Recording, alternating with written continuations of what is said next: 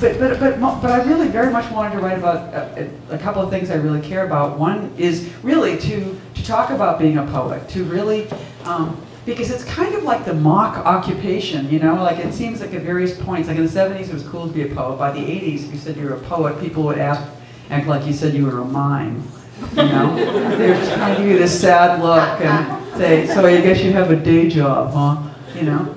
And, and it's so, it's sort of, but the thing that's um, true about being a poet is that I, in, in the same way, way perhaps as being a sex worker or certain kind of all-encompassing life, lives, um, poetry is a life. You know, it's sort of like you kind of do this thing, and suddenly everything you do somehow fits into that. And and um, it's very it's very unique, and it's very sort of internal and external. And I just wanted to show it because I think it's in a way, in the same way, like when there were epic poems that stood for whole culture. Often the hero would be a poet, you know, and it used, used to just mean this this guy, this woman, this character. And so in a way, I wanted to say that again and, and just, you know, use my own name because that was the name that I happened to have.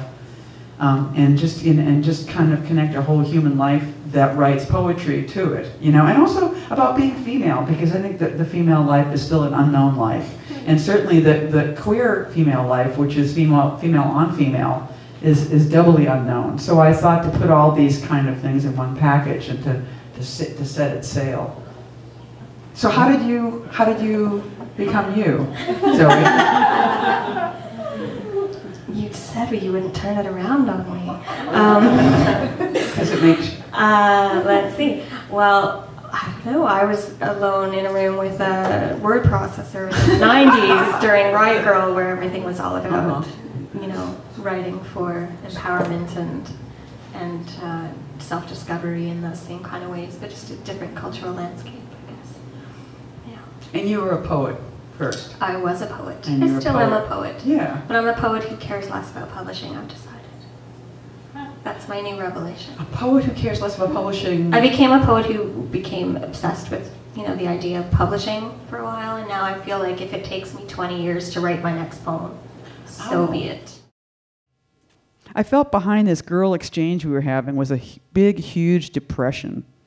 A mountain of despair was watching her coming at me, her strange manic hopes and her stupid notebook creeping closer and closer by the moment. I was waiting for her to say, Do you want to hear my poem? And then I would sit there sipping my Hennessy's, listening to her obvious poetry, and all because I was broke. But if I paid attention, really paid attention, maybe I could ignore the mountain of sadness and she might entertain and distract me, and I would think, This is life.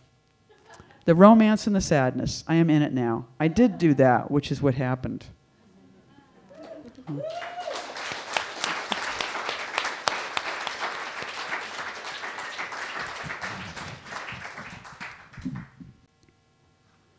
Take the time that him and I had sex.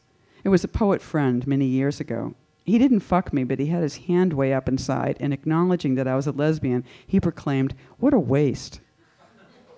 I thought, what is so special about this cunt? But also, I thought, how great that it's special. He wanted to fuck me, and I knew for sure in that moment that I would become pregnant. It was why he was admiring my cunt. He felt it was his. If it was mine, his feeling was wasted. Without thinking too much about it, I enjoyed being wasted for him.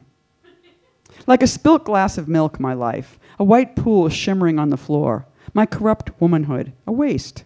I feel the same way about being a writer, staying up all night, burning my brain cells for years, swallowing tons of cheap speed, also for years, eating poorly, pretty much drinking myself to death, and then not.